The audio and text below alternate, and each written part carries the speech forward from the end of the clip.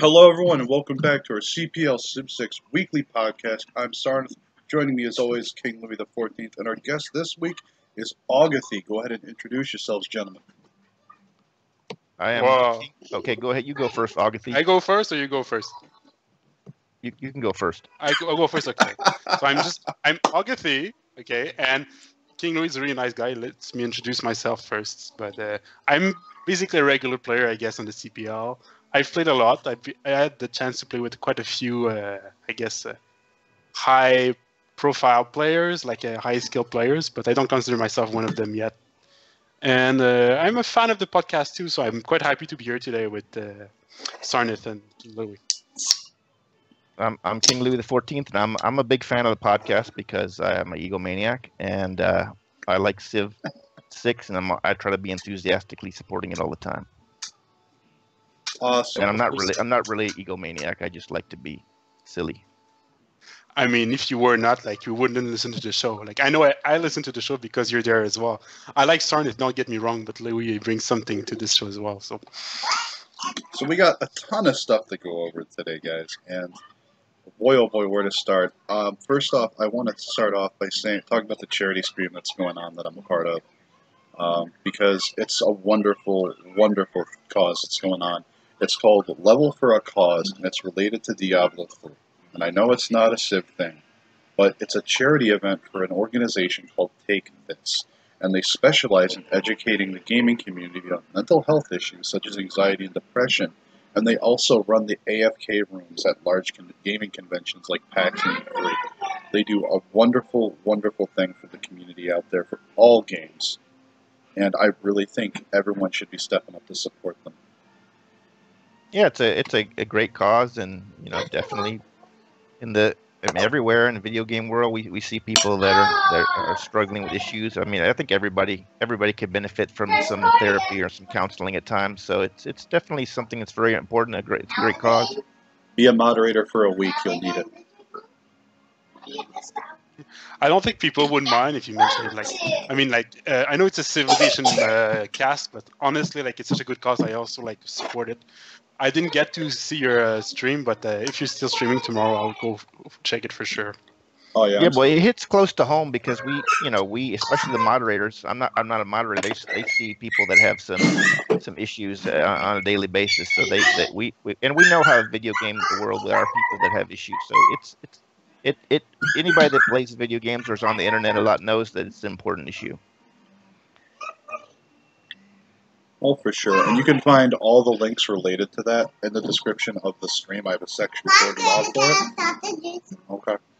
So are they going to make the goal of the, of the, uh, are you guys going to make the goal? I think we are. We're already well over five thousand dollars, and it's only day two. The weekend hasn't even hit yet, and we're So it already goes all the way through. there. All the way through Sunday. It does, and there are 32 streamers participating in this event, from the big ones like Wolf Crier, Riker, Bloodshed, all the way down to little ones like myself. And we're all working like- towards raising money like for this said, it, cause. does, does it help the cause if somebody just watches? Just the just the hits is helping it, or I, that's why I wasn't sure. Um, just watching it doesn't donate money, so to speak, but it does spread awareness of it. And that also helps out because when people look at streams, they see one with a whole lot of views on it, they naturally go to look at it because there's so many people watching it, obviously it's good. So it draws people in that way too. So even if you aren't putting money in it, you're still helping out just by watching you're supporting the streamer by taking time out of your day to watch. Yeah, it's a great idea because you get to you're you're playing a game and you're raising money for charity and getting other people, and it's a, yeah, it's a great idea. That I mean, I've seen other you know, other people done st- similar stuff for other causes, but yeah, it's a great idea for video games to play a game while you're raising money for charity. I know like many streamers that sometimes do events like that. Like I, I don't I'm not a big fan of generally uh, like watching streamers, but uh, I've heard like uh, streamers sometimes raise up up to a thousand, two thousand dollars by themselves for to support one specific cause. So Yeah. I think it's actually like a good path uh, Twitch is taking and I, all the streamers because it does bring the video game more in the community as well, or more in the internet community. Absolutely. And to uh, kind of end this topic and move ourselves along, I did want to say that the person who heads this up, his name is Wolf Crier. That's his account name. He has a YouTube and Twitch account. I have the links in the description as well. And this is the second level for a cause that he's run. I very, very happily got to be in touch with him in time to be a part, to be a streamer involved with this one. And it's been an absolute blast working with all these people. We have people in the European and Asian regions and in the United States. So it's been a huge undertaking. Yeah, and I mean, you love uh, Diablo three, so it's like a great Win-win, right? Mhm. Absolutely. Yeah, All right, to bring this back to our Civ 6 side of the world, one of the hot topics lately, and we've been getting so many new players in the community, which is absolutely wonderful. It's always great to see fresh faces, some new blood lurking in the field. But a lot of people with these newer players are actually just that newer players. They don't have many hours in Civ 6. Or some of them bought it because they found out multiplayer is still a thing. And but what challenges do these people go through transitioning from the couple games of single player to the multi game multiplayer side? I think I mean, I- Civ 6. Oh, you, yeah, go, okay. yeah. Go, I go go ahead. Okay. I think Civ 6 actually has a, a lot of potential uh, because it is a, by itself a genre almost of. It's like uh, very different from many other competitive games if you look at the multiplayer scene, and at the same time has all the strategy aspects that you would expect from a multiplayer game. But I think it's also a very complicated game, a little bit like when you learn a like a board game that which has like ten thousand rules. So at first it looks very complicated, and this is what I think uh, is the biggest challenge when you join a multiplayer community. Yeah, it's a complicated game, but it's not it's not hard to pick up and just play. But yeah, you, you have to just assume when you join a com- very com- a very competitive multiplayer league like this that you're going to lose at the beginning, and you don't. You, you know, you have if you have the right attitude, it's not a big deal. You got to approach it like, well, I'm getting better and I'm learning, and so that's uh, yeah. You can't focus in on the individual game and go like, well, I'm getting killed, or you're just going to get too depressed. You got to look at the broad picture and like, well, okay, I'm getting better at the game. I'm meeting some people, I'm making a few friends, and and Yeah. yeah, that, that's how you got to look at it. That's how I look at it. I think you're right, but uh, I think we should emphasize the fact that like even though it looks complicated, the game is really simple. The concepts all are like uh, very uh, instinctive. You like the battle, the, the fighting system, or just like the resource generation system is really similar to many other games. You know, and I think uh, if we keep uh, the community is actually doing really well, good job. I think uh, trying to welcome new players in, but the fact that the Firaxis doesn't have its own uh, active platform like us to really bring the multiplayer or to value the multiplayer is a huge problem because uh, even though we do a good job, it's not Firaxis, it's not the company, and we don't have the exposure they do to really bring uh, Civilization 6 to the light for many players.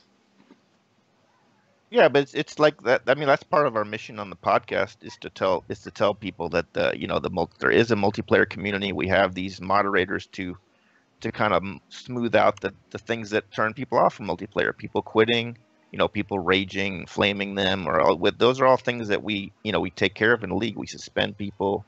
You know, sometimes we even ban people if they're really toxic, and you know, the, those are I think the major obstacles to people. I know that in the past it's been an obstacle for me. You just get kind of get turned off. You're playing a game, and some guy's just being a real jerk, and eventually, you know, people just go, "I'll just play this single player." You know, it's not as fun, but uh, if people, I understand because I've, I've been there myself. You get frustrated. Yeah, and I th- I think actually the community does a really good job. That's what I said. The the, the problem is just that like uh, the uh, Civilization Six is not uh, like if you want to play multiplayer, you could go in a public game within the own within the game as it is.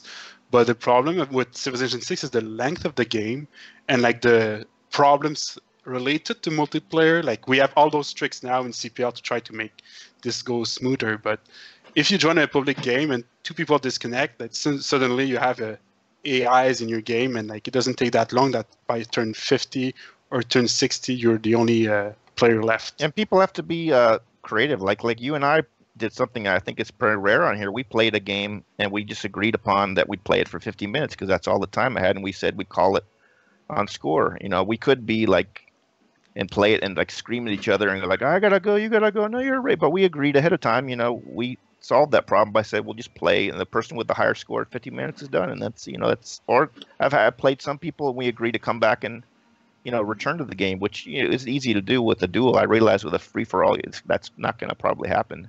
Yeah, Although we well, did have we, we did have a guy on here that wanted to know if we did play by mail or hot hot uh, you know, uh, Pit Boss, and well, while they don't have it in the game yet, there is a site that I, am not going to mention it because I don't even know if it's any good, but I'm going to try it out. It's, apparently, it can do that for you, and so I think that would could be an, an, additional thing that people could play. Like you know, people play their games here, but they may have a friend in you know in Asia that they're never on at the same time, and they could play a play by mail or a Pit Boss game with them, and that's part of what this website does. So I'm definitely going to try it out with this guy and see if it works. I'll, I'll, you know I'll report back to the league. Excuse me. Yeah cut you off with a cough there. I came down. I know that's generally met with kind of disdain from the league, like oh, play by mail, or like I think people have like a snobby look, like oh, why would anybody? Yeah. But I, I don't. I think that you got to have a bigger tent and let. It, I think you bring in casual players, and some of them will become hardcore. But if you just have the attitude like, oh no, you don't belong here, then that we're never going to grow the league as much as we could. So I always are welcoming to any any person that wants to play multiplayer on any level. I'm not going to say like, oh, you're not hardcore enough for this league or any of that nonsense. Yeah, of course like, not. Yeah. I think that's actually how the game was designed to be played as well. Like if you just look at the solo play, a solo player, uh, it's rare that you actually sit for eight hours doing one solo player game. You save it and you come back to it later, you know. And a little bit like some people play chess sometimes from online. They they give them like you have one day to think about your move and then you move the next day another move and everything.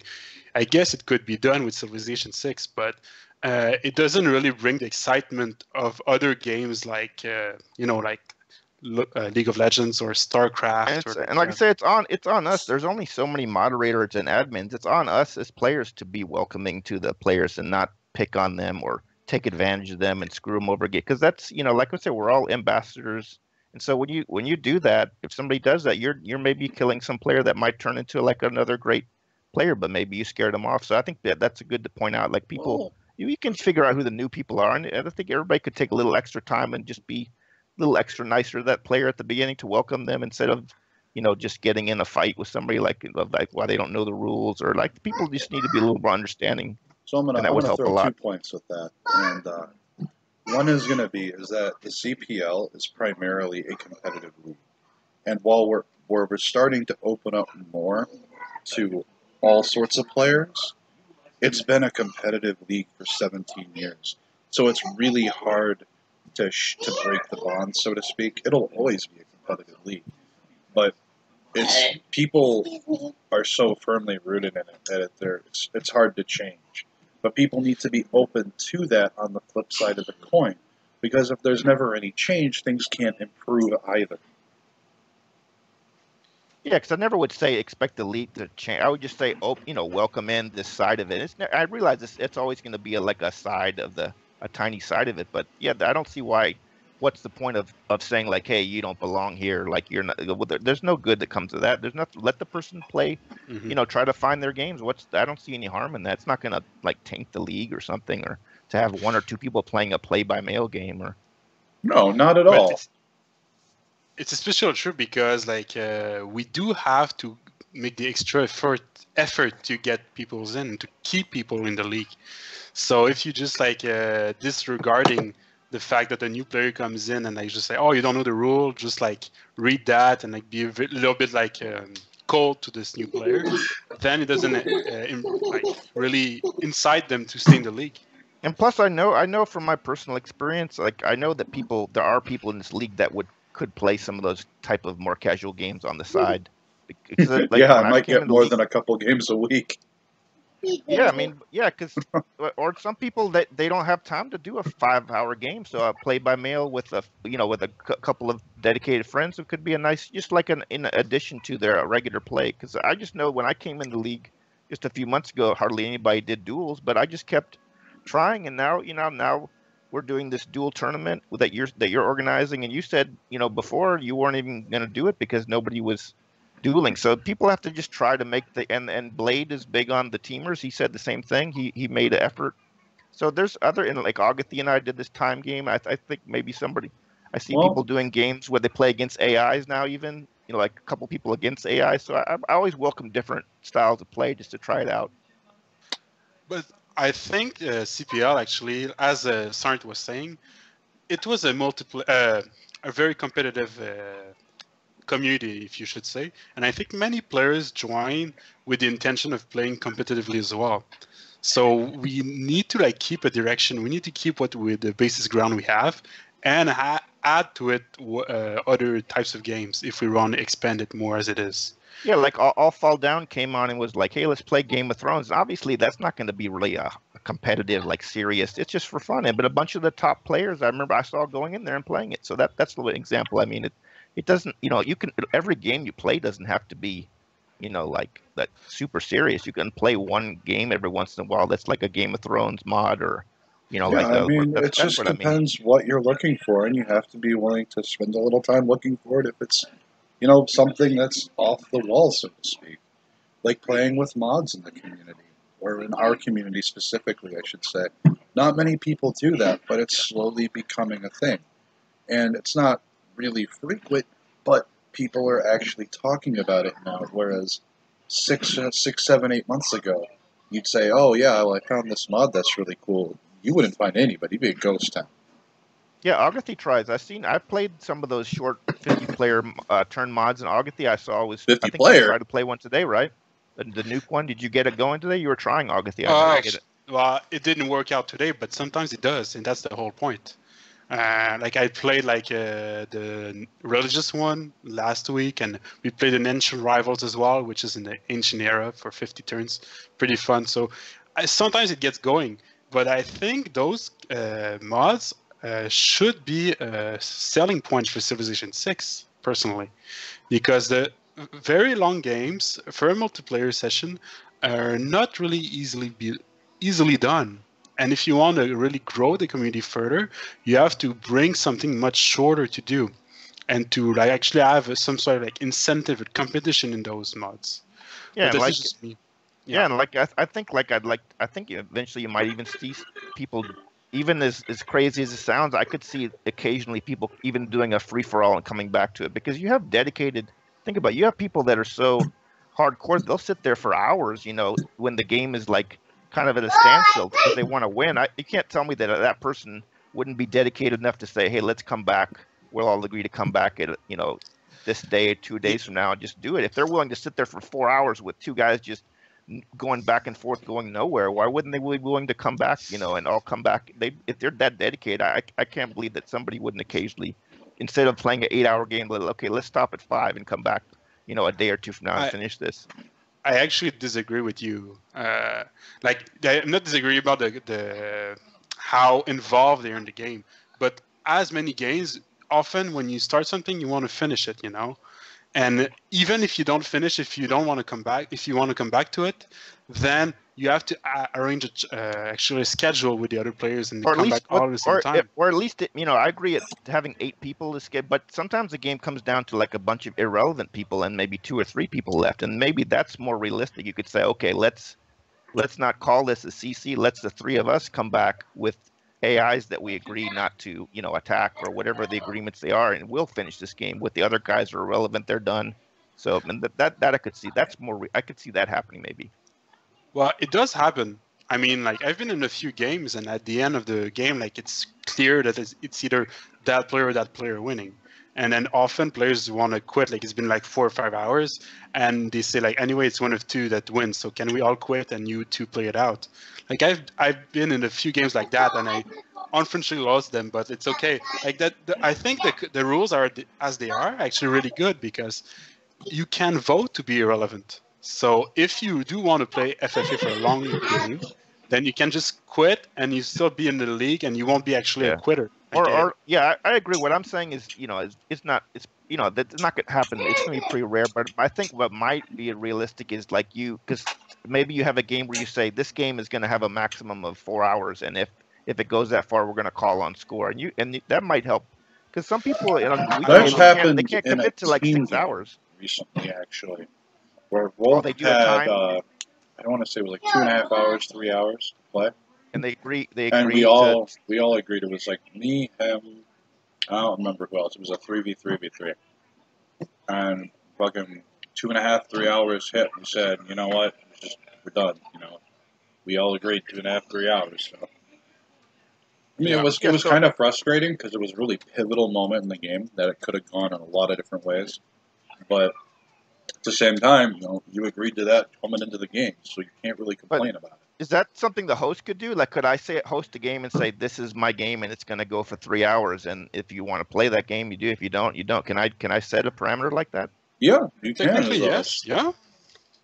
Yeah, so It's I'm just- gonna try to I'm gonna try to do that because I know like people when you if you like a month ago if you said oh we're gonna do barb games people would just laugh at you and now you see it's pretty popular people are playing barb Well, games and Well, Barb games were really popular on the other server when they merged before we merged. but it's not just that it's not just the old server people it's new people coming on and playing but before people said oh that'll never happen that was like it was laughed at like you don't play barbs that just it just The you don't do barbs that but now were laughed at because when the Persia patch hit, something was done with the coding that made the barb, the barbs, the barbarian AI moves take up a lot more space than it should have. It was too much processing power for people. You'd have people that would normally not have lag until like turn 110 start lagging out at turn 50. And those are people with really good computers. but they, Well- they fixed it apparently Yeah, That- they that- fixed that- it with the uh, the latest patch.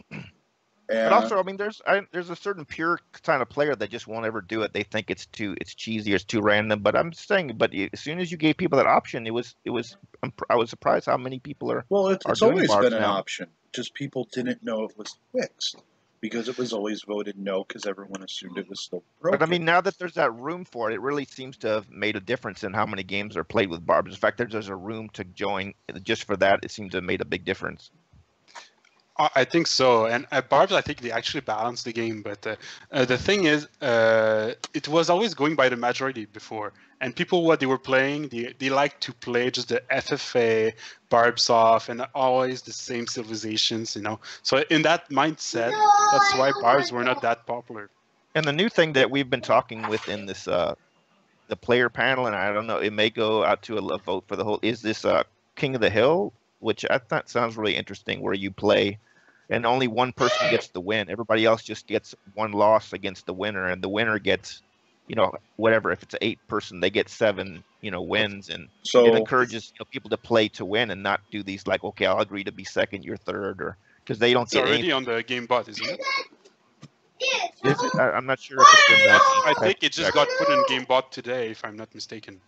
So I definitely want to try again. I know, and the same thing. You're going to get a lot of pushback from people who say that's lame and this is it. But I, I just, I just want to play it and see. But I think there's a number of people that seem to be into trying it out at least one time. well, I mean, And- options should be there for the community, and if that's an option people want to have available to them, why not? Well, yeah. So my there. thing is, I don't. Yeah, I don't try to. I don't try to badger people. Now, my thing is just like if I think there's some cool thing, I just now my thing is I just try it. I say, hey, do you want to play it? And then see. I don't, I'm not going to try to, you know, sit there and discuss it with somebody for hours, convincing them. I just, here, here's my game. If you want to join it, and that, that's the only. I think that's the way you get some changes. You you can't try to convince people by talking with them about it. And Agathy is right. I'm looking at bot commands right now, and it is there. Yeah, it, it got to- put up today. They updated today. Just like the Defender of the Faith, people were that was just that was unthinkable that you would have that or Crusader. Now it's like it's happening all the time in games that people allow it. I think. But another thing with that is, is uh, back then, you there was a huge divide between the the really good people and the rest. Now the rest are pretty darn close to the coattails of the better Yeah. players. It's true. There's a It's really true. big blur there now. Actually, I quite like that because actually it's a good way to get new people in because now the level is more like, uh, well, first of all, there's a lot of players in CPL, and second of all, there's a lot of players of many levels. So if you get in one game, you're not guaranteed to lose.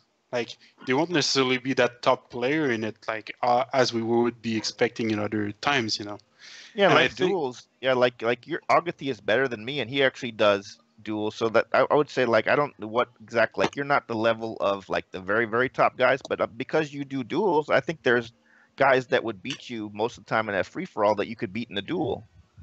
which is Well- so that's something to go. You know, that's something for players to think about. Like if I concentrate on this type of game, maybe I can beat the top guys in that game because I'm just doing this style of game. It's just some like incentive. Like okay, I can never beat S Death or Harambe in a free for all, but maybe if I play this style game all the time, I could beat him in that. And I think I- that's well- good motivation for like a mid-level player or something. I think it can be, but I think the big selling point for Civilization Six is actually that like uh, people like to play a long game. You know, when they, you come in home and sit down, you're not expecting to finish a game in 20 minutes if you play Civilization Six. And the FFA uh, lobbies we have actually promote a long period of playing, and they have multiple like really good players, really good like streamers, which often they've seen, you know, like many uh, new players come in because they've seen the stream. I don't know, like uh, of SDeath or FO. Like I know, like many of the French community in CPL came because of the French uh, uh, Twitch uh, streamers. And I think this is actually a good selling point rather than a duel because if you get in a duel and then you lose, and you get another duel and then you lose, then suddenly you got two losses. But if you do one single FFA, then you had nice time for three hours. Maybe you lost, but at least you had some fighting potential because there was more players involved than just you and. But you'd actually get you could actually get a lot more losses though. If you play an eight person, you come in last, you're actually getting. Yeah, but it's not necessarily about the losses, losses, you you? know. It's like you- it's like the. I don't know, like getting seven losses though when you come in last. You are, yeah, of course you are. But the thing is, at least you feel like you have a fighting chance, or you actually you actually have a say on the diplomatic scene of the game.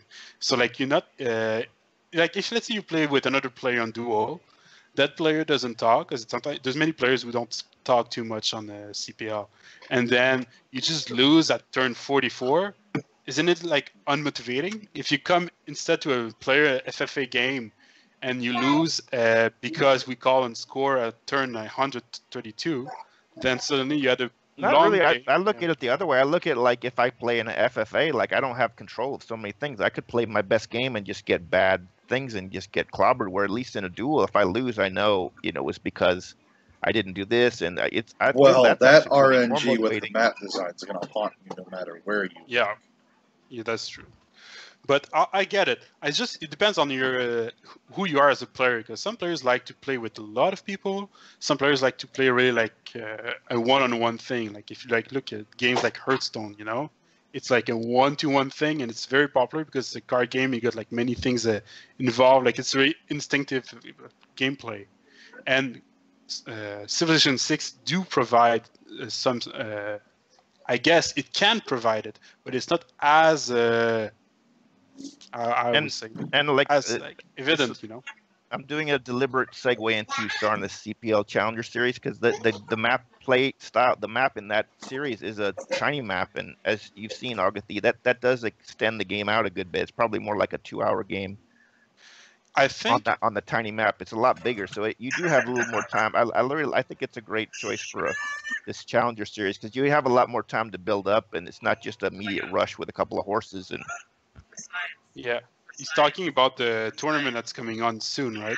Like the one v one. uh, Yeah. I don't, I don't know if this is the point where Starnus wants to talk about because I know that was one of the topics. I think right. It, it was, and it, the topics on the agenda post that gets posted and broadcasted out. That's not the order or anything that gets discussed. It's just you know things that are going to come up for sure, and it's not even everything we talk about. We always find new things to come up. But it's coming up soon. The sign up is the 25th, right? That's when you can start. That up. correct. On November 25th, it is a Saturday at 11 a.m. Eastern. It's the same time, hmm, excuse me, that the tournament matches are going to start, which are on, oh, sorry, hiccups. Is the 9th and 10th at the same time. So if you can't make the sign up, you probably can't make the match either. And it's eight eight people, and it's everybody can play. And I've you know I've heard some people complain about that. Why isn't it? But I understand you you want it to start to be open to everybody, and you have plans. You know, at some other tournaments where it will just be the top players, or I know you have like this is just the beginning. You have a, a long term plan for this, is what I understand. Wow. I think it's a really good uh, initiative to start as well. Like, uh, like now that we put the du- uh, tournament for duels, people actually like are curious about what's a duel in Civilization Six as well, because it wasn't really mentioned very often, except by Lily, because Lily always plays duel, you know. Yeah. And I've talked to a few players, and like they were talking to me about duels, like, oh yeah, like maybe I should try one day, and like suddenly it became part of the community as well. Yeah, and Yeah, one of the biggest you've done things with uh, bringing this into a tournament fashion is everyone's like, "Oh my god, the spawns are so unbalanced. This isn't fair. That's not this." They won because they had an extra hill. Well, what if I told you I was creating all the maps that'll be used in the tournament, and they're all balanced starts, but you're not on top of each other, and there are no city states, so no one can blame who had what city state either. I Well, I think didn't- people I didn't blame even know that you were- that. Yeah, I didn't know that you were creating all the maps. That's even better. I didn't. That's something new I didn't know. So that that's cool. Well, I think people always complain anyway, you know, and Civilization, because it's a random map generation, and people just assume that if they lose, it's because, not because of their gameplay, but because of something else, you know? That's the first reflex you have. But uh, regardless of that, like, uh, if you have actually a tournament go- going on, and if you, like, restrict the settings, like, say, oh, it's always this the same way, then suddenly it becomes like a repetitive game and it becomes something that people can rely on. So this build order works because it's on that map and you have those that many hills, you have that many science by that turn, you know, and people try to calculate a little Yeah. bit. But Yep. because it's tiny, you you have time to uh, make up for if something doesn't go right. Exactly. You know, you can't. It's it's not very easily rushed on this size map. Yeah, sometimes you do, sometimes you don't. I mean, I'm not I'm not going to sit here and lie to you. The all every single map in that pool is completely unique from every other map. And the only thing that is going to feel fair to the players is that their starts were pretty darn close to uh, balanced. They're don't they're not other- mirrored in any regard. There is no mirror on that map. I don't I don't know about the other top players, but I know uh, I did ask S Death, and he said he will play in it. So I don't know about other top players, but at least he did say he'll play in it. So that's good. Well, I think uh, having like, it w- I, am quite surprised to hear there's like already made map script. Like I'm quite happy to hear about it, and I think it follows the same pattern of like other very competitive games. You know, like if you look at let's say StarCraft, you know, StarCraft, you have a, a map always the same or a map pool as they say, and then you know that you will be playing on those balanced maps, and that whichever position you spawn on, you'll still be able to have the same chances of winning than the other player. Yep, and um, a lot of people, a lot of the messages I've gotten, people were really angry because I'm only letting eight people join. The first eight who sign up will be playing, and the reason for that, as, as I've explained to people one on one as they've messaged me, is that I want to see. I haven't seen many duels. I've seen a handful of them, enough to at least start this type of tournament series. But I want to show the community that I'm a competent tournament director and that I'm taking this very seriously. And even though I have really big plans for this, I want to show that I can give this a very strong foundation to build off of. I think it's a, the best way to start tournaments in uh, Civilization is actually to do it this way because it's a very easy in a way uh, approach. You get like you cannot do many make many mistakes. You know, like a one on one, there's one loser, one winner, and then it goes to the next round, and there's going to be one loser one winner. And uh, in that sense, it gives a big structure, and also like really have the uh, also like it values each win more than it does in FFA. Because if you end up second, you get six wins and one loss, let's say. But in a tournament setting, then you're eliminated if you lose. So well, it's gonna be it's gonna be a two out of three. But yeah, basically what you're yeah I, I see your point though. But, Yeah, but it I is mean- gonna be two out of three. so like like let's say you win two matches and the other one lo- loses two, then it means he is eliminated, and that player is better in, in the tournament setting. And at the end, the winner looks better because he actually won against the winners as well of the other things. And if if we ever expand it and we get some winners from each tournament, or if we get some series like let's say like the best of those, like then we could make something like a little bigger, and like say, oh, this is a, like a professional tournament, this is like a beginners tournament. This is can make any settings. Yeah, I just I just hope it gets more popular because it's a gr- it's a really way to focus it on like because I, I I think it's hard to know exactly who I know Esteth is a top ranked player, but since he never plays, he just playing in games and often not even playing. These guys aren't often playing with top players in their games necessarily. So that at least something like this forces if the top players play, like they're going to go head to head, and you're going to see Uh, that's going to really push them to play their best. Because right now, a lot, sadly, some of the times it's you know Esteth in one game killing people, and then Harambe in another game pounding on people, and you know Animation beating up people in another game, and so you don't even sadly, I don't, I mean, you don't see the top players maybe in the same games that often, always, and Well, that, I to me, mean- that's kind of sad. That's the nature of free for alls. People are going to pounce on players that have military skills.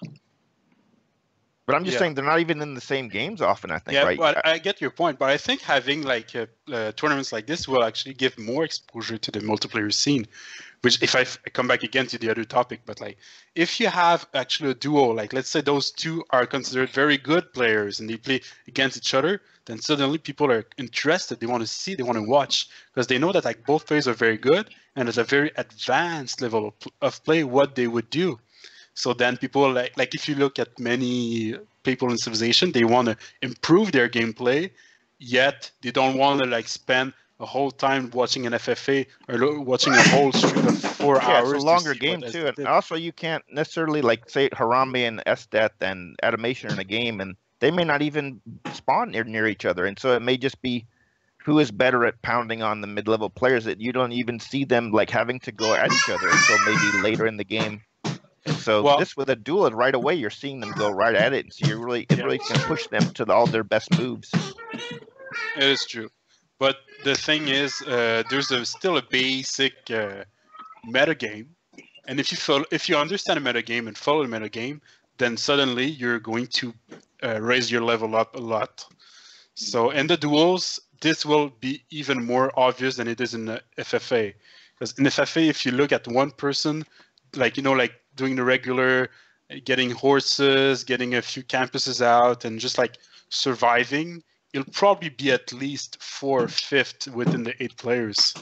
And he didn't show any uh, skill, if you want to say, as or any competitive uh, to his gameplay as we would expect. Yeah, they the- still should. I mean, Animation actually is one of the top players that plays more duels. So, in that sense, he would have a, an advantage in that right because he does play more.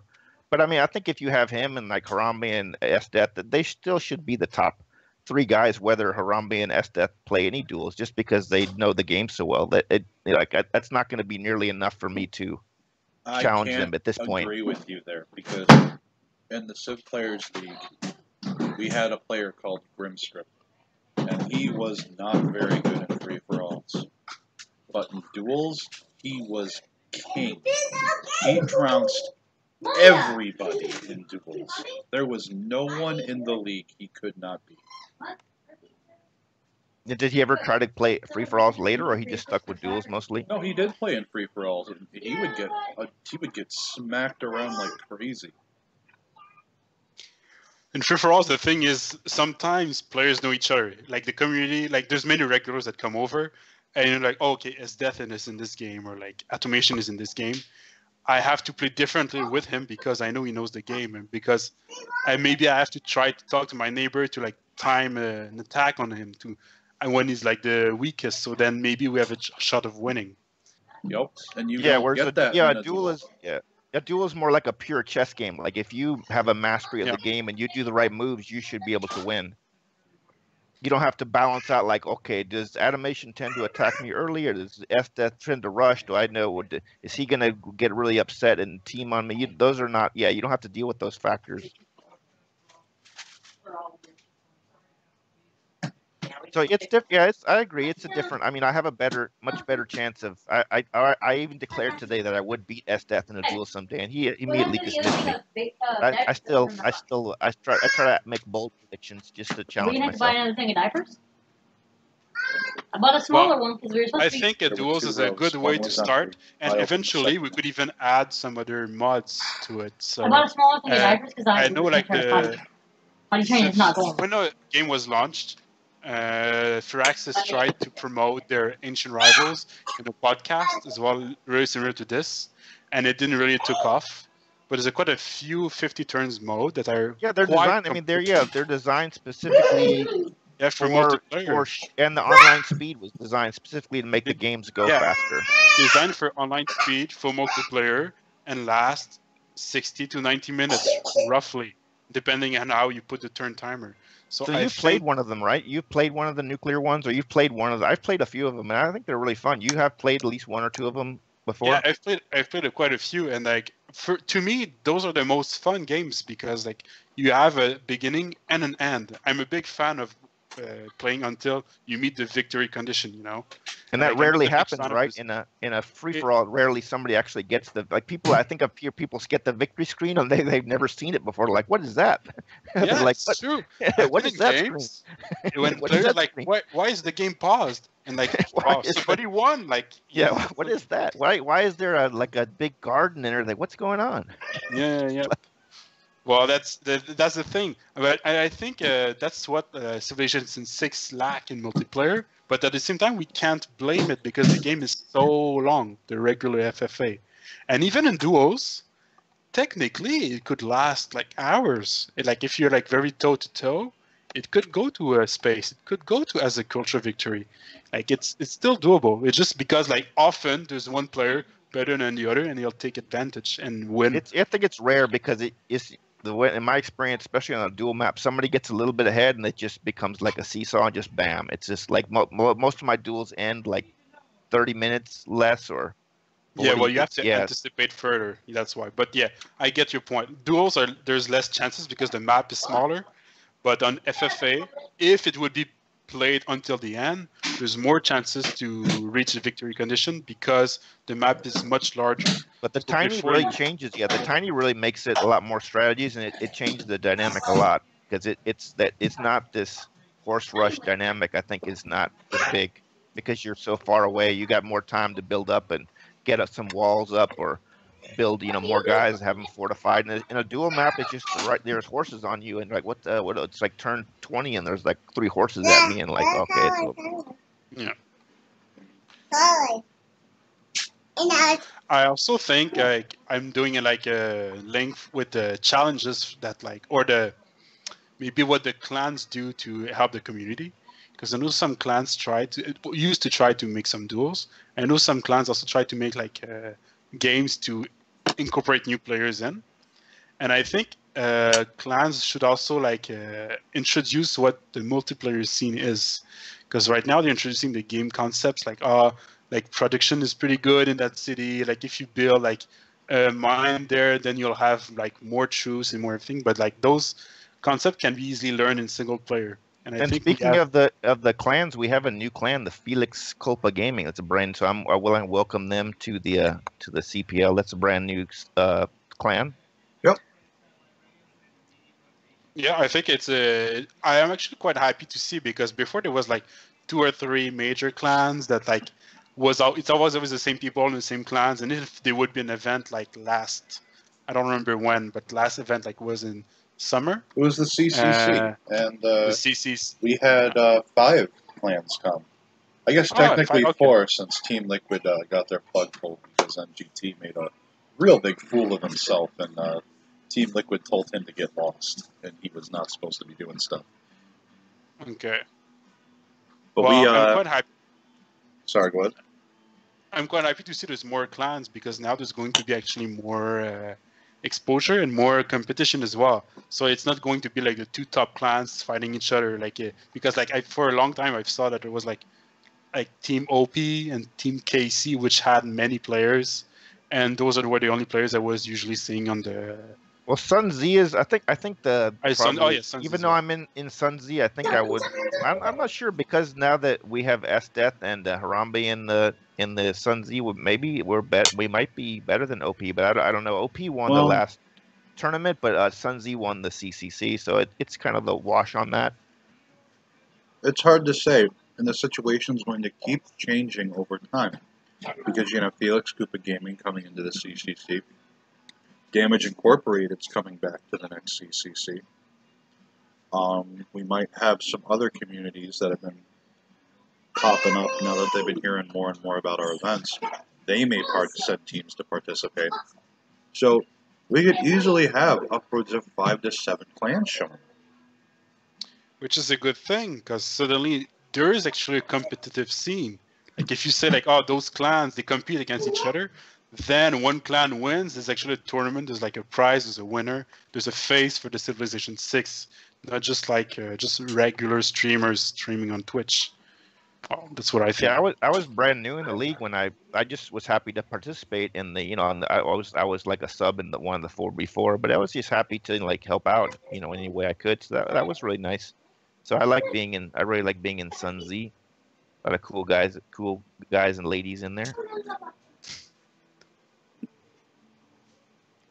Well, so going back to uh, new players transitioning to multiplayer, let's talk about the first 40 turns. The first 40 turns are the most important in the game.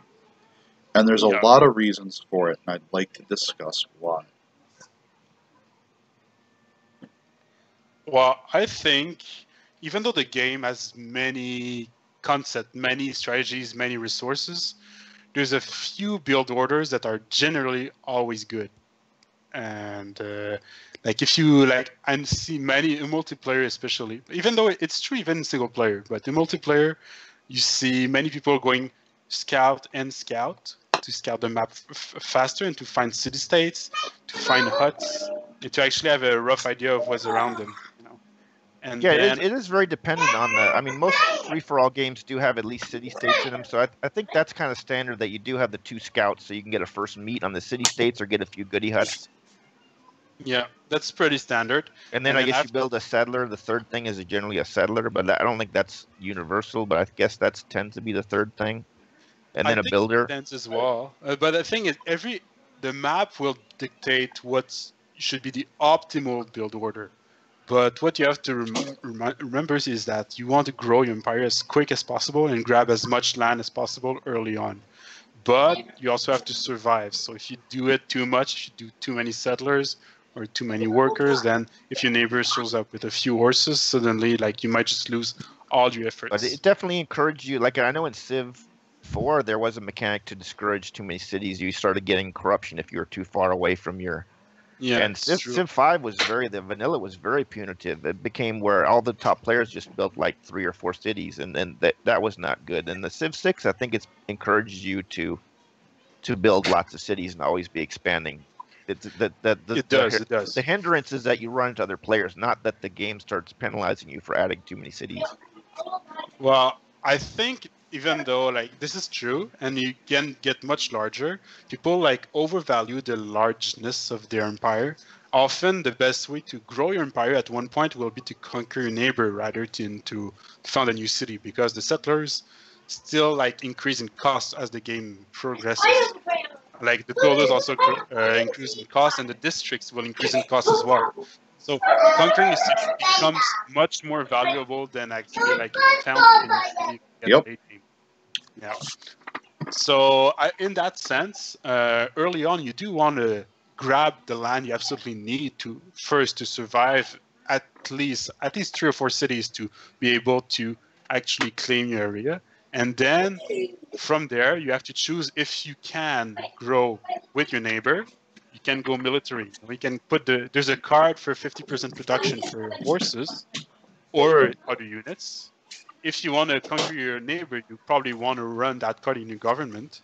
And if you Yeah, it's all three. It's all three things that are important. You have to look at the best production. You have to know what timing, when the timing is to try to take the city state out, or raze it, or when the time, which, what, you know, what the timing is on your policy cards and your and your science. It all has to tie in together to your overall strategy. There's a really It high does, but- skill ceiling to the game, and a lot of people don't respect that, and that's what they fall victim to.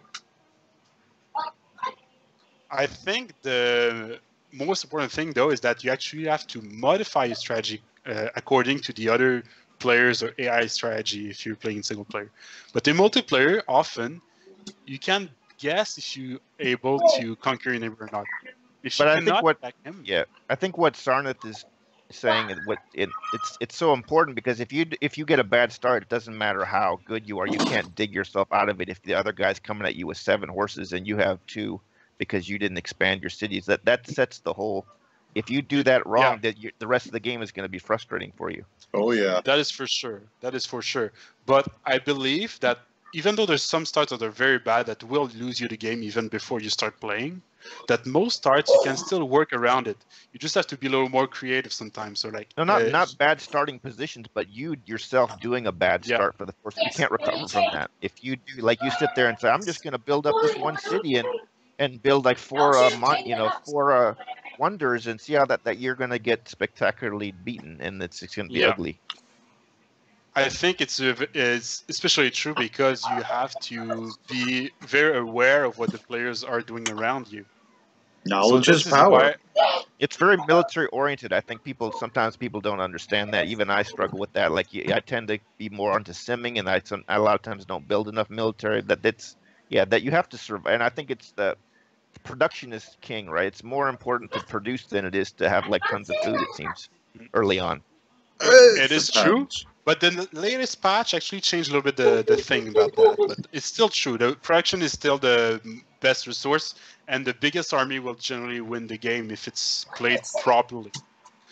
But uh, the thing is, uh, early on, you do want to have an army to defend yourself. But if you cannot conquer your neighbor, then it's not worth it to necessarily build an army very big, very fast. Sometimes there's other cards like the 50% settler production card, which is quite easily rushed if you're in a multiplayer.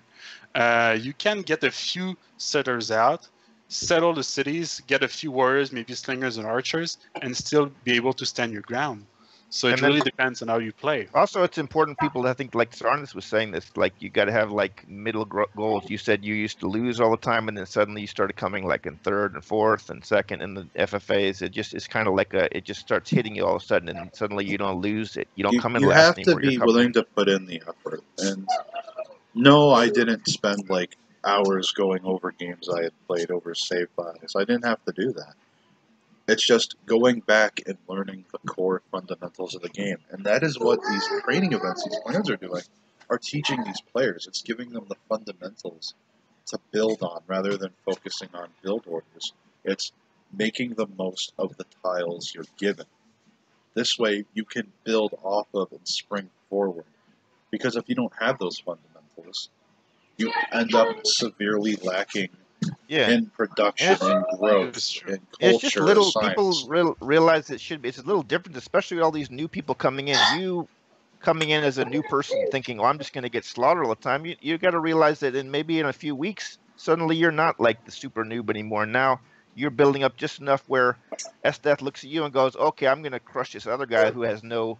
No army, and you have a little army, and now, now suddenly you last a little longer. Just those little things, and now you're coming in fifth instead of seventh, and you're actually getting to play for an hour and a half instead of 35 minutes. And just those little, just being the not the biggest noob in the game keeps you alive maybe another you know hour.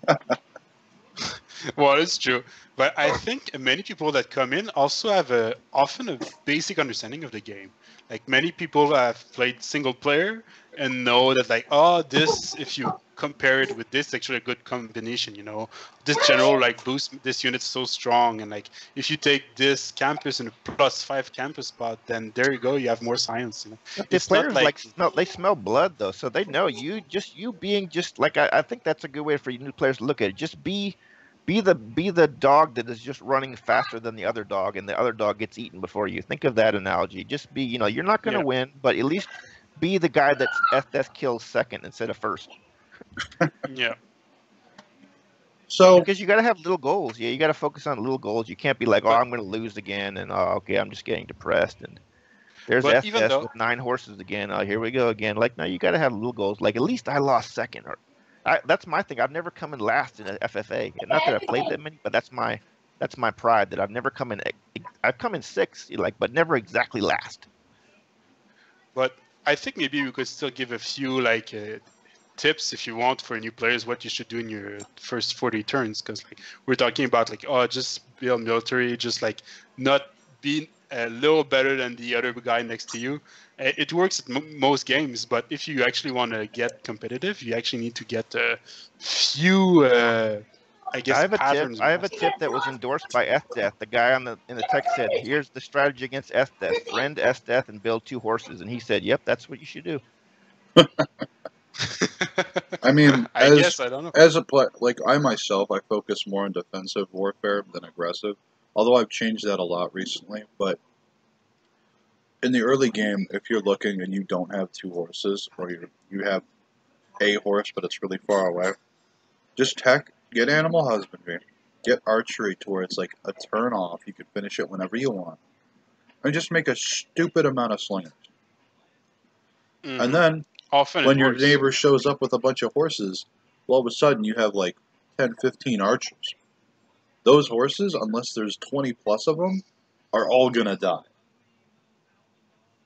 because that's the advantage of having tiles. Uh, like it's not like in Civ 4, like where you could have like 10 military units in one tile. In Oh, Civ the 6, death ball.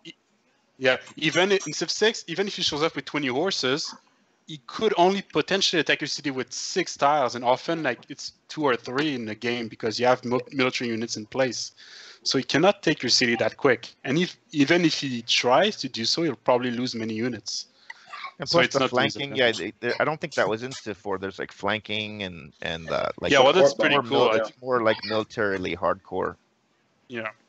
Yeah, but you have to And- actually get a civic in order to get those bonuses. So Yeah, but uh, I really think that early game, like you get a few units, at, and then you position them properly. Like let's say like you're uh, settling a city quite close to another empire.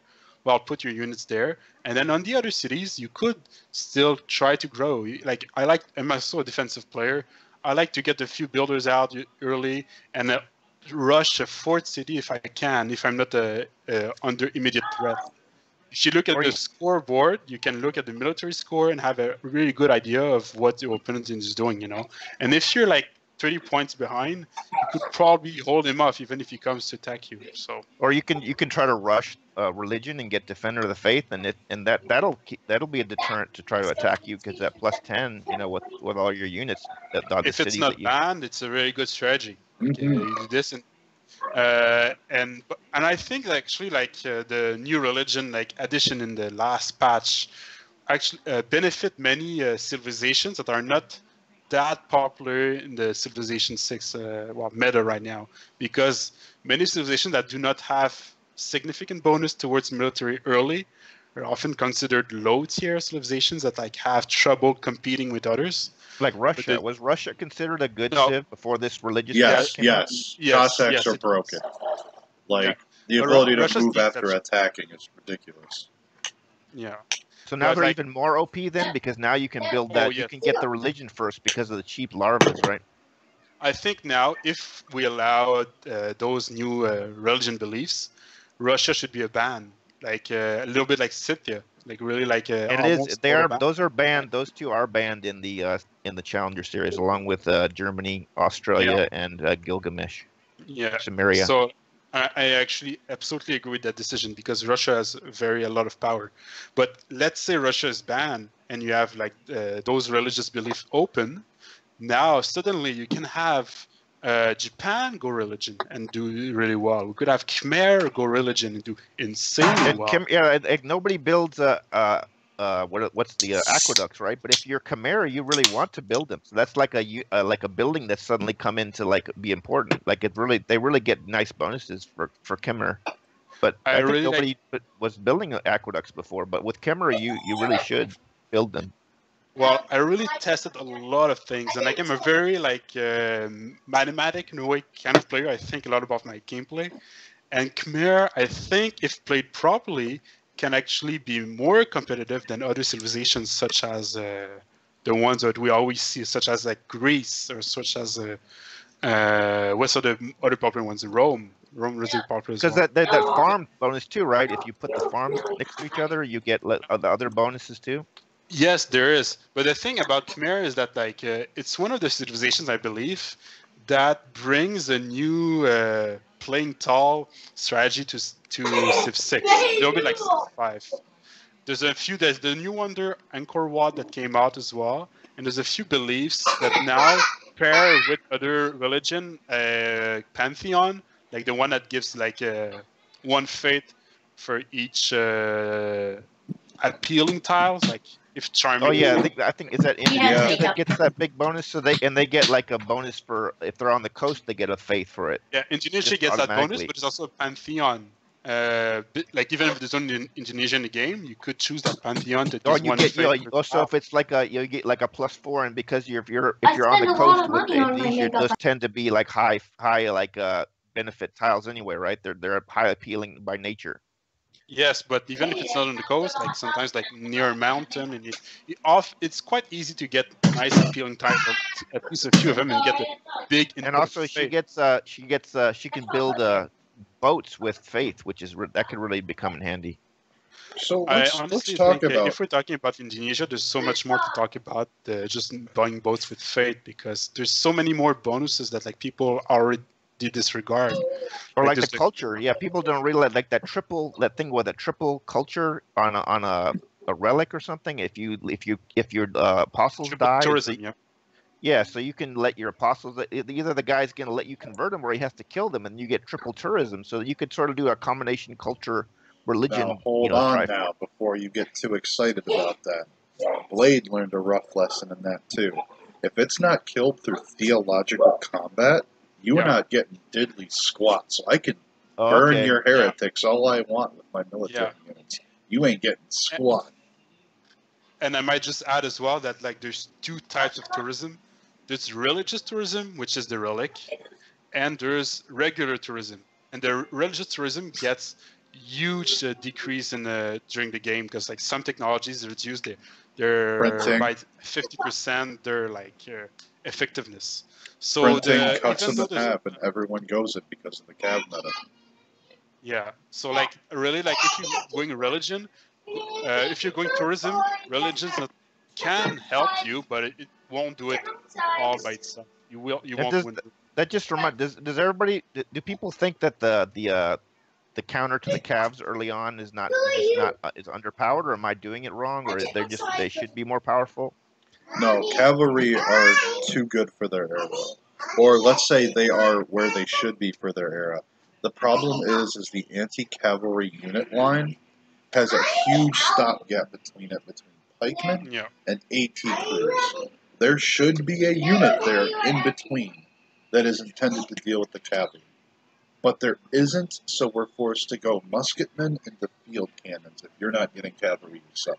So the spearman Yes. is not as the spearman if it was a, a legitimate counter unit should be able to take down a horse, right? But it doesn't. It can if someone's going to bash your spear with a horse over and over again, but no one's going to do that. They're just going to walk around it because light cavalry, for some reason in Firaxis' mind, are immune to zone of control. The- Really, the, you have to take everything in consideration. Like the meta is to get cavalry, and uh, well, to get like horses, and then upgrade them to cavalry eventually, and maybe some people add the heavy cavalry, like some like knights. Knights to that get tanks. Tanks. Yeah. So what is So- the strategy if, if you know the guy's rushing horses and you wanted to be defending? What is the strategy to do in general? Swords and archers. Well, well Swords yes, and archers. there's swords and archers, but there's two strategies. It's either you go for a cav yourself and have something you can fight with and something around. And if you overcome him with cav, maybe you win the war, or you stay defensive, like uh, Sarnt was saying. And if you stay defensive, sometimes it allows you to try to tech further ahead. But then, if that person actually managed to kill another player in a FFA, for example, suddenly uh, his investment of cavalry just paid off. So, So if you if you have the, if you have defender of the faith and swords, you're going to be able to st- Yeah. hold off a cav rush. you will, you will, Well, you will for sure. you'll hold But- horses, but you're not going to hold. The only re, the only way you're going to hold cavalry if you're not using cavalry are with musketmen and field cannons. Fortified musketmen will hold against cavalry. You're going to be losing. You're going to be slowly losing that front line until your crossbowmen get promoted into field cannons. But the minute you have field cannons behind those muskets, those cavalry are going to get shredded. except against Russia. But then that's the. That's unit. only if that's only really if you're near their territory when they get their plus five and fighting near the homeland. But uh, I think like the whole way to like overcome a very mil- militaristic player is to hold your ground and hope that either the other players act upon him or you actually uh, out tech him and get a different tech path, a different strategy. Because if you cannot like mass forces as, as good as he does, then suddenly you won't beat him in one-to-one. So like let's say like you fighting against uh, Brazil, he got like a cavalry very fast because he had like really good uh, adjacency bonus for his campus.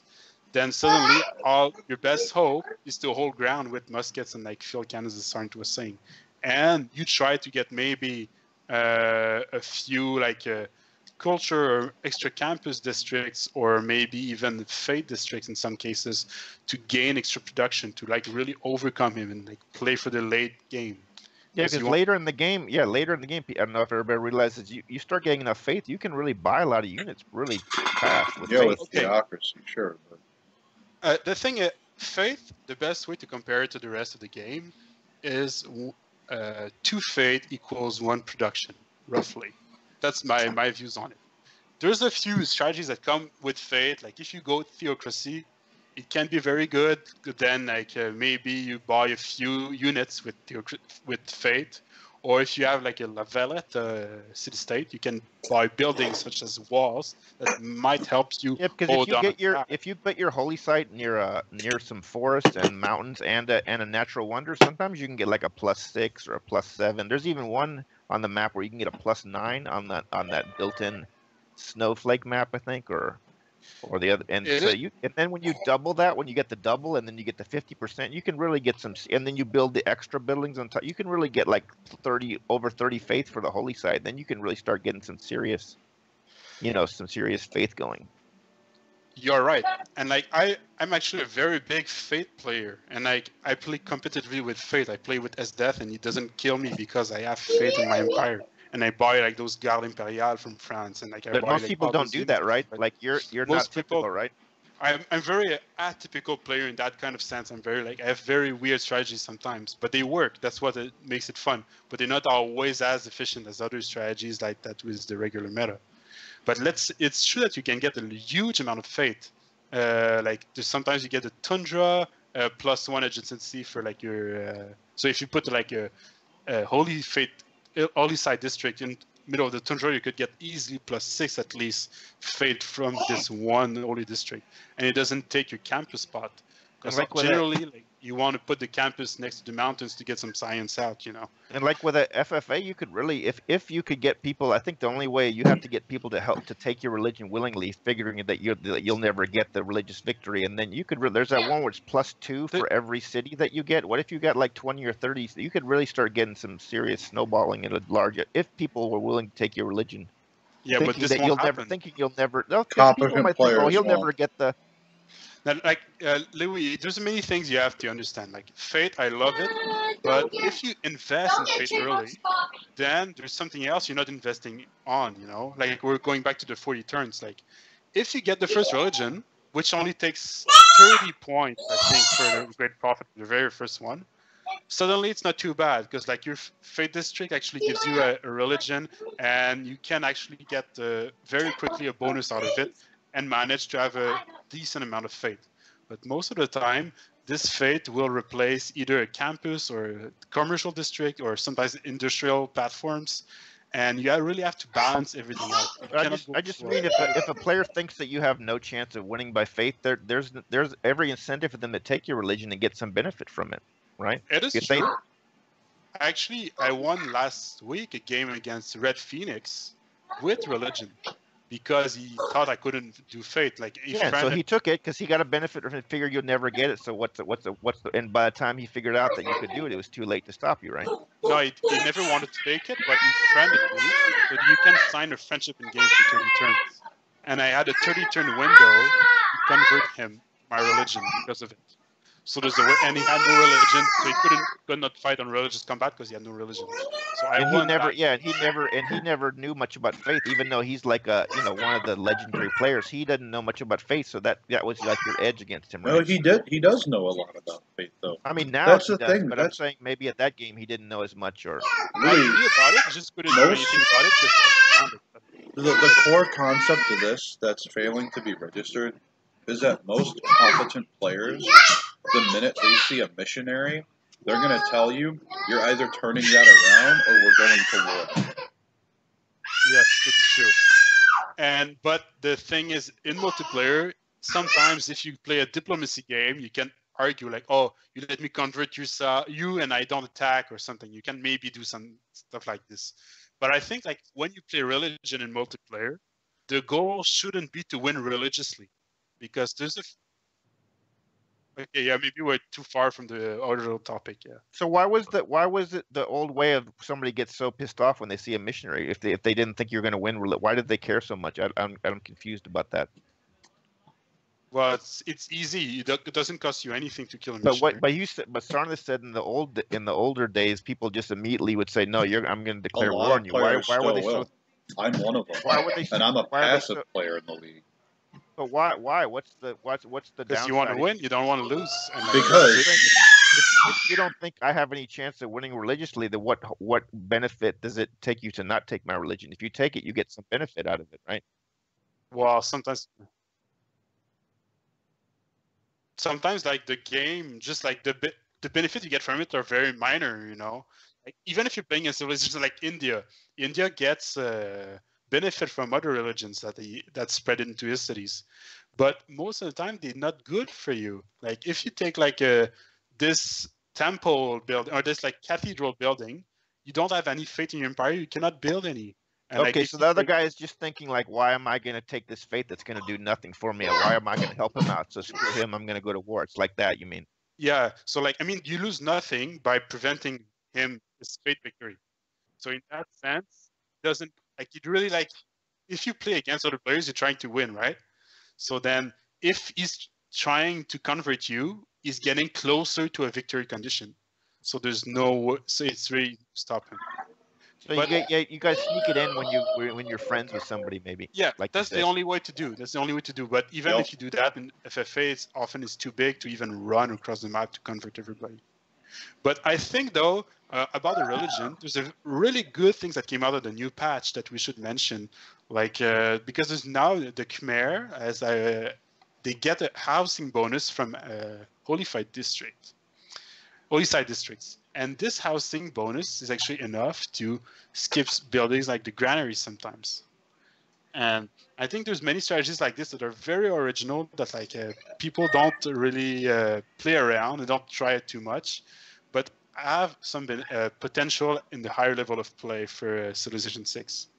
Or if you take other like strategies like uh, Indonesia, they have uh, a lot of faith output early on. And if you take a few beliefs that like if you have Valletta next to you, you can suddenly build your whole city you can build like granaries, monuments, you can build walls solely with faith. So in that case, it's like extra faith for your production. Well, if we're going to talk about Khmer and holy sites, you can't mention them without talking about the culture bomb. They culture Oh, yeah, bomb the culture nearby bomb. Tiles whenever they pop a holy site in the site. So that promotes it even further. And it's really awesome to think that- see, especially when it's another player that you take their three or four tiles away from. That that's an extra little like, uh, other player like, I just stole three of your tiles. yeah, it feels good. Huh? it does I feel think- good. I think what's the best w- thing about it is like it does expand your uh, territory. It does allow you to work better tiles, maybe or different tiles, and the housing bonus actually allows you to work those extra tiles. Like because like if you grow your city too fast, often you still have only three or four maybe citizens you can work on. But that housing uh, uh, really helps you. And there's uh, even a belief that if you build a holy site by a river, you can get an extra housing out of it. And there's like a farm bonus too with the Khmer. And it, uh, if you decide to play with the aqueducts in Khmer, they give three faith. And everybody like forgets about that. But isn't there extra food for every farm you put next to an aqueduct so too? Yeah. There's- there's one And an extra amenity, food isn't it? per farm. Oh, and Yeah. an ame- and an extra amenity for your city. Yeah, Yeah, which that's plus one amenity and plus one food per farm next to the aqueduct. And if you're farming next to two aqueducts somehow, it's plus two food. So in that sense, you can grow cities really fast, really big, and especially with the spawn bug, it's not as true now because the, there's new mods to fix it. But sometimes you really crowd up and you didn't have much room. So the best way to play was actually try to play somehow tall, and Khmer is doing really well at that you build a few uh, aqueducts, you get your holy site district up. Suddenly, you have so much housing that your capital grows very fast, very big, and with that comes the extra production. So you get both the fate that you can use as production eventually, or with for great people that you want to snipe, or and you get the extra production from having big cities. So, but this requires you to play defensively all the time as well as. But, and then with that, also with the port that new religious lens, it tells you you can see like okay, uh, this is how much pressure I'm putting on. This will convert in like 30 turns by its own, and that's a good like a extra helper to know you. Okay, maybe I don't need a missionary because this city's going to convert in eight turns according to the Oh. religious lens. this for sure helps like if you're aiming to convert many cities but often uh, if you use fate in multiplayer uh, it's not necessarily to convert that many cities unless you take a belief that gives you bonus like sometimes some beliefs gives you culture gives you gold like uh, depending how many cities or citizens There's that one, yeah. There's that one pantheon that gives you culture for ev- eh, like if your thing is pumping out nine, eight faith, you get eight culture for it. That's the And I uh, wanna mention- bonus of the holy that- site itself. Yeah, but like if you take, let's say, the Khmer again, they have their also their special temple, and if you take this uh, well belief that gives culture, then suddenly you get a huge culture output, and this culture output comes with a fate bonus. But you're not doing it only because you want fate. You're doing it because you want culture, and with culture, eventually you'll get science, which also late game is a very important factor. So uh, Khmer actually has a lot of potential if you, but you have to place everything perfectly. Yeah, it helps you. So the culture, the culture bonus can help you rush to theology faster, which then can help you snowball yeah, if, you- if you do it correctly. faster. So if you rush with theocracy, then suddenly you can buy with faith. If anybody wonders, it's 185 faith on online speed for your unique unit, the Domrey, and you, uh, and then this allows many more strategies to come out of them. Like so, they can like any civilization that has a unit that cannot be pre-built, so cannot is not upgraded from a pre-existing unit, or like let's say like the Berserker from the Viking, the Garde Imperiale, the Domrey from for the uh, Khmer, then suddenly the fate takes much more sense because uh, the fate allows you with theocracy to buy those units. And also the for, don't forget the warrior monks, which are not really that hardy on their own. But if you, if I heard, if you build them up and can get them to survive and use gurus to keep healing, they can get they can get some pretty Yeah, powerful units, they, right? they can get outright silly, but you need to be able to And then invest. it's and then if you get that that tech, there's that one tech that you can tech them up as they're doing combat with other units. They start spreading faith, so that you're Well- helping to convert by just combat, which is pretty cool. Well, yes, you're right, but it's really hard in situational to be able to use warrior monks very effectively in multiplayer, as it is right now. You have to have But I think maybe you have to have see the- the gurus, and you have to like yeah, you have to have gurus, and you have to carefully train them and not let them die, so they build up to this uh, the high level that you're talking about. Yeah, And you I, have really, to use if you have to use gurus to keep them alive. I, I, I didn't test it. I don't know if you, uh, maybe gurus hel- heal them. I just don't know about this. Yeah, method. I don't know how to use them either, but they're I- supposedly but supposed I to think they, them. I think they might not heal them. I think gurus only heal the apostles and missionaries, but I might be wrong. Oh, yeah, you know, I have to check on that. But uh, but really, like uh, the fate uh, play in multiplayer is not about converting like or healing those units. It's really about using your fate as production. And also, one last thing that I've learned the hard way: if you're if you if you have a Yerevan and you're trying to do religious, you got to get that one because that lets you has the if you get the six and you have the most, you get to choose any upgrade for the apostles, which then one of them is like a seventy five percent, uh, you know, convert a city, which it really is can be devastating. But but only Yerevan that gives you the any any upgrade you want if you're the suzerain, I think, with the six.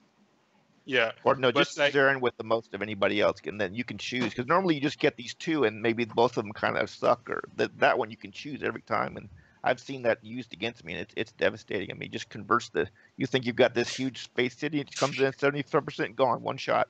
So two shots, your city's gone basically from an apostle. Yeah. It is true, but I think like coming back to Khmer, uh, the fact that they get relics out of their uh, missionaries, like it's actually really strong. And if you combine it with the different states such as Kandy, which gives also relics, you can get a huge amount of relics. And there's a pantheon that also boosts the fate output, so it boosts the tourism and the fate of each relic. So if you do get that pantheon, get the missionaries, and get those skills, then you can get a huge amount of fate. So th- I think, But- so these are, these two new civs are like really cool. I think I don't think people give them enough due. They're really like some a lot of different strategies for them. That's because Khmer requires a very unique playstyle, and if you don't mesh with that playstyle, you are not going to succeed with Khmer. You cannot play them like you would play America. You can't play Indonesia like you would play England. Like a lot of people look at these civs and they try to apply the same strategy to every civ. They, Oh, and they're so all they trying go, to measure yeah. them by the golden Yeah. standard and then that they go, the "Oh, Cav Khmer sucks. I can't." They go, "Khmer sucks. I don't have any cool units. this sucks," and they just dump them. But that's because they don't know how to play with that civ. And that goes right back to me mentioning a skill ceiling in this game. Every civ has its own unique play style that if you actually want to do well with, you have to bring that to the table. For example, France. France is regarded as the worst civ in the game by pretty much everybody. I think it's even been joked about by Firaxis at one point that France is just the worst civ in the game. But their spies are amazing. Hell, in the game I did with Blade last weekend, we did. Uh, I was stealing with three spies, six hundred gold per spy, every three turns with each spy. So every Mhm. three turns, give or take, in total, I was getting eighteen hundred gold. You have any idea how fast you can bankrupt a player doing that? It's yeah, that's crazy. That's pretty, yeah. that's pretty devastating. But yeah, but but people don't ever figure that out, right? Because they never play it. That's because no one can ever survive to that point in the game as France. Because they keep trying to Well- play them like they're German. I'm trying uh, to actually. I'm putting up a new videos. I didn't put them yet, up yet, but I'm doing guides for how to play all those civs, like how to play Khmer, how to play France, and how even Norway, which is also joked about because they're really weak for many things. And if it does come out, I'll show you all the strategies because there's many very cool strategies you can do and still survive early game to have their bonuses really like. Uh, Can I put a guide up on how to lose to Augusty using different different civs? Because I've done that with like a couple different civs. best played civilizations that we should uh, we should value a little more. I think that's what I think. And but um, I'm coming back again to the Khmer because like there's another another thing we didn't mention.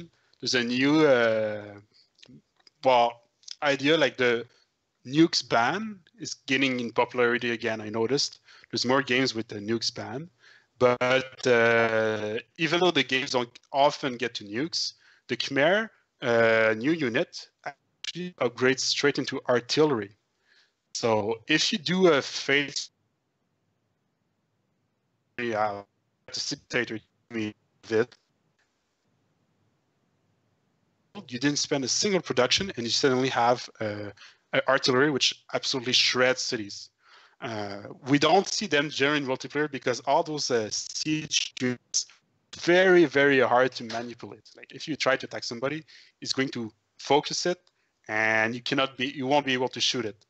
But the difference is artillery will with balloons can be shot from three tiles away or four like I, I don't know if they fixed that bug i think they did but you can ti shoot from three tiles away and suddenly it cannot reach you and then if the nukes are banned there's no way to conquer cities uh, other than having planes or artillery like that so i think khmer actually has a potential also in those games to uh, take over the late eras I just want to give a, a humorous update on what's going on in the text lobby. Now, Esdeath apparently is in the 1700 17 under staging area and said he's going to give away free wins for five games so he can get below 1700. well that's his style i guess But I guess he wants to challenge himself. He's tired of being alone on the top of Mount Olympus. Yeah. And I think also Indonesia uh, has a other bonus like the um, uh, well the adjacency bonus from the coast uh, does apply to all those districts as well. So in that way, in that sense, it's a little more like uh, some other civilizations like uh, Germany or like uh, Japan, which try to like focus on like having uh, districts at certain placements, or even Brazil. So I think we should shout out like about this about the Khmer, which is really strong, really good. Okay, so let's talk. I'm going to talk about mods for a little bit. Mods have slowly been creeping up a little bit in CPL. Not to be mainstream or anything, but people have been talking about them for fun, fixing spawn locations. And uh, what mods do you guys use and play with? What do you, what do you guys see out there and about? And I'll mention some that I was I was exploring with this past week as well when you're. I haven't. I've, I haven't really used. I've used the CQUI one for you know it shows you where production and everything more efficiently. But a lot of time, I think it's still kind of buggy, unfortunately. That's the only one I think I've used. I'm sure Agathy has used the spawn fixing bug, but I haven't played as many FFA. I probably used it too, but I just not because I have the automatic mod. But yeah, but other than that, I'm not that familiar with the uh, with any other mods. Maybe Agathy is probably more familiar.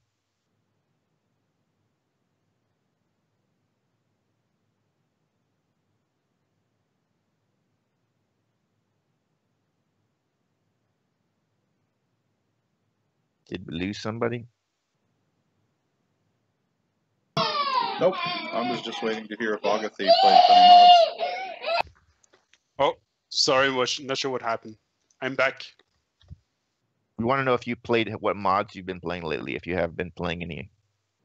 Well, I tried a new mod. I don't know how much uh, you catch on my last sentence, but uh, uh, the new mod that tried to fix the spawn location.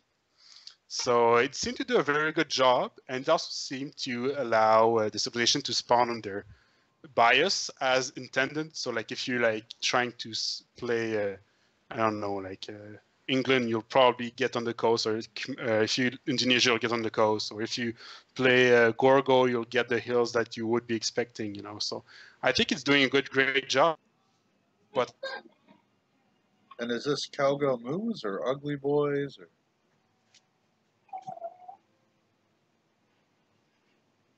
Which mod is this? I think some some sort- maybe we're getting a little lag from Agathy or something. um, Let's see. Uh, maybe he might have had to mute or something. But um, while while we're recovering Agathy's connection here, I'm going to go ahead and I'm going to talk about some of the mods I explored over the last week, and two of them being the Moar Units and Warfare Expanded mod. And I'm actually going to drop the links for both of those here in just a second. I gotta. I'd uh, write them down separately because of uh, the Steam Workshop thing. Super picky. I'm going to put them into this chat right now for everybody. Now, you have to have more units to use Warfare Expand, but they both mods work in conjunction with each other to give all the civs a bunch of new units, like unique units, and as well as Warfare Expanded adding units that were you would think were missing from the tech tree like things like riflemen or long swordsmen, composite bowmen. It adds units all over the eras that should be there for anyone who's has any inkling on anything of how history is worked. Units you would expect to be there that just aren't. It don't make sense that they're not there. Is it pretty? Is it still balanced? Doesn't Yeah, the game or anything? Yeah, I did a gameplay video about an hour and a, an hour and a half, excuse me. And I had all sorts of stuff. I had trebuchets, riders, like actual horsemen, uh, long swordsmen, composite bowmen, regular swordsmen. Yeah, I'll check. That sounds cool. I'll check that. Is did they have anything that helps you deal with cavalry early on? Did they add something? Yeah. that? Oh yeah. Oh yeah. The anti-cavalry units are actually where they should be throughout the eras. There are more light and heavy cavalry units as well. There's tons of variety, tons of different ways you can go. Is this like brand new, or are you just did you just find it recently? Um, I went through the workshop and I was looking at what some of the popular mods were over the last week and over the last month and three months, and I was comparing some demographs. And a couple mods really stood out compared to others, and I went to check them out to see why were they so popular. And I can see why. It takes a lot of the imbalances of the game, like the cavalry meta, for instance, and the amount of extra units added there can actually deal with them. Hell, they can even deal with Cossacks. And with the extra, the extra uh, unique units that each civ gets, like for example, Japan, they get the Yamato battleship that they're known for in history, or the Sohei as a unit they can buy with faith. And it's there's just all this extra stuff there. So is that posted in the mods area of the Discord? Uh, no, I posted it into the live chat. So anyone who watches this video in the future or now, they'll see that those links pop up at this time. Cool. Yeah, I'll check that out. It sounds like so you could see that becoming popular here in the league. I I don't know about that. Mod, we're not really big on mods for competitive play because we're if we're gonna back the use of a mod, we have to be really sure that it's actually balancing, actually fixing gameplay issues, and not creating any. But you might get like a few like really dedicated players to, who agree to play with them a lot and really get into it. Well, that- sure. that If all happen. the players agree to the use of the mod, I mean, you can't cry about it later because you So you to played it. uh, How many how many games have you played with this with this mod? Uh, three actually, not in And the was- league, was- but I played them on my was own. it pretty? Was it pretty stable? No no prob not too many problems. No, I had no problems at all. I had no errors. I had no problems loading in. No problems going all the way to turn. I think I stopped playing one of my games at turn 130. Had no problems. Yeah, so it's just like you found like a Easter egg or something because people here just aren't looking in general for these mods, right? Pe- people aren't really looking for them in our league per se, but there are others in the community who love using mods. I mean, actually- for instance, You're saying you're saying actually it makes it like for a hardcore player, this could really be benefit them. They really appreciate if they know history well. They really appreciate this. yeah, I mean, I I sure as hell did. I mean, Yeah, I'll definitely check it out. That sounds cool. It sounds like even if it doesn't catch on, it sounds like it just be a fun like change of pace or more hardcore military strategy. There's a lot more options there. I highly encourage people to check it out. I think what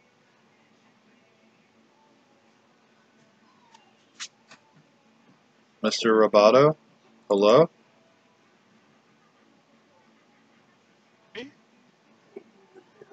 I can hear you now. Okay. So I was just saying like uh, this mod sounds really great because like it fills up what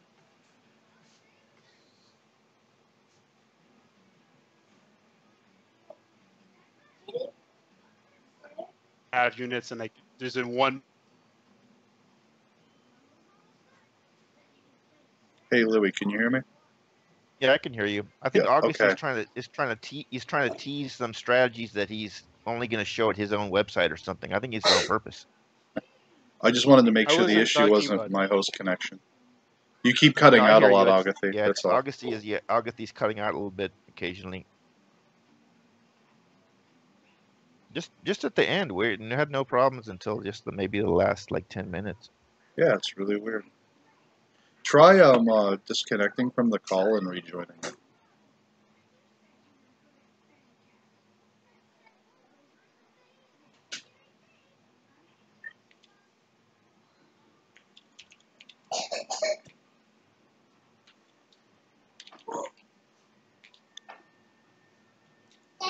How about now? Can you? Dad, somebody lost I can I can, I can hear it. the.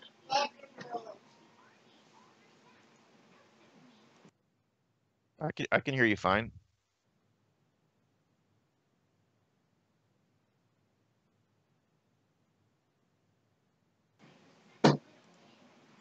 I can't hear him at all. Yeah, I don't I don't hear Agathy. But Oh, he he, might not is be he did he just did he hang up and try to come back in? Yeah, and he, it shows he's back in. Maybe he's getting a second headset. He said he had two. Um, but let's we'll move along, and then we'll come back to this when he gets back. Um, I have some more mods that were suggested to me by uh, some of the members that were watching when I started covering mods on stream, and one of them was the introduction of the Austria of Austria, and it's actually it was I was pretty impressed overall. It comes with another uh, mod pack, so to speak, in terms of uh, it adds it makes it to where uh, you can place what the wonders, the built wonders, like Anchor Calm and Forbidden Palace, in more locations, and that's because I guess there was an issue with making the new wonders specifically for Austria to build that put into the game with it. It had trouble building it on tiles because the the game coding wasn't recognizing it properly. But uh, it, wa- it was different. It was a different approach on things. They play. It was a, a decent playthrough, but it didn't strike out to me as exceedingly amazing. Well, yeah, apparently it's just I gotta start going to that. I haven't gone there very much. The Steam Workshop and just looking through. I, I haven't really, other than the CQ out- uh, UI, I haven't really like just tried to really look through. It sounds like there's lots of good good mods there. Oh,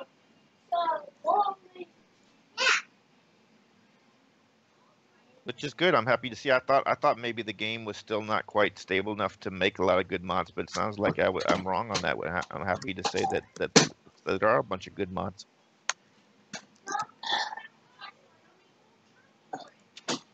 yeah, there is tons of stuff out there being made by the community. And like uh, here, I just fetched the link for the Austria mod that was one of my viewers requested for me to play through. Here's the link for that.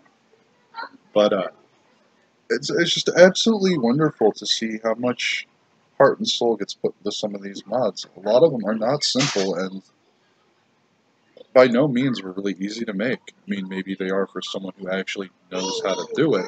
But for you know average Joes like you and I, that's it's kind of magic making. Yeah, just a little more, especially these people in the league that have played like two, three thousand hours. I'm sure they would they would appreciate even more just something different. Well, that that's for them to decide. But the options do exist out there. People just have to be willing to try it.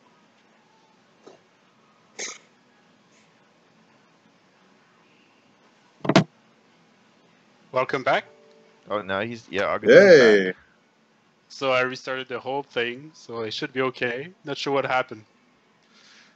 So I missed the whole mod thing, I guess. uh, you did, but let's go back to where you left off. Now you were trying to talk to us about, I do believe, what mods do you like to play with?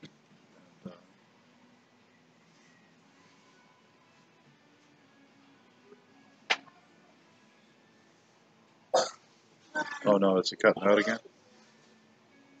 I don't I don't hear anything. Uh,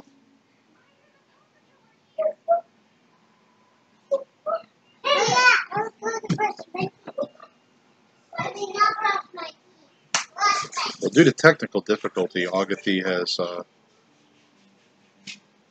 I guess, uh, jumped off a cliff, metaphorically speaking. But he'll get back to us when he can. We're going to move on to the uh, Clan KC's uh, training event. That's on Tuesday, November 28th at 5 p.m. Eastern. This one's actually during the week for those of you out there that haven't been able to do weekends. Definitely encourage you guys to come out and learn with the community. I know I'm going to be there if at all possible because I love, I just love seeing what the clans come up with every time. Yeah, it's a, it's the uh, 20, 28th, right? Yep. And Yep. is it is it going to be similar to the Sun Z one, beginners, intermediates, or is it focused on one particular group? Or I don't know. They've actually kind of kept this one under wraps, at least as far as what I've been told. So they might have something really big su- surprise for people. and that is the oldest uh, clan, right? Formed formed by our founder Canuck Soldier. This is the oldest clan in the league, obviously. Yes. Did this did this exist back in the Civ? I don't know that back in the Civ three days. I don't know. I wonder how old. I'm just curious how old it is. You would have to ask him, although I'm pretty sure he's watching, so he might throw something in the chat to let us know. And this, and if you are listening, Canuck, we're asking how old the clan Knights of Civilization is, not how old you are. We don't need to know when you know the color TV came out. Shots, fired. Shots, shots fired. Oh yeah. I'm old enough to rem- I'm old enough to remember those TVs where you could actually you could also turn the TV on by clanging quarters together. So you know I'm right at that right around the Canucks age too. you had like little go like and you could you could also just bang two quarters together and it would also turn the channel. It'd be like trunk trunk. It was like it really it was yeah it's ancient. It was I mean it was back then it was the old TV back when I was a little kid. So this was yeah. So I, I, I it wasn't I'm not that old where I didn't remember color TVs, but I'm just saying like I can remember I can remember a ways back. Definitely I played the original Civ. I know that. Oh yeah. But on that note, I think we can we're at a pretty good spot to wrap up here for this week's episode. Big thanks to everyone who came out to watch, and if you're watching this after it's uploaded, a big thanks for stopping by and listening. I hope you enjoy the content as much as we do making. Yeah, thanks for listening, and we're, we will as starting to see you guys see you guys next time. I, I gotta step it up. I let you do it. You you end with it because it's your thing. All right, guys. Thanks for stopping by. Hope you enjoyed yourselves, and we'll see you guys next time.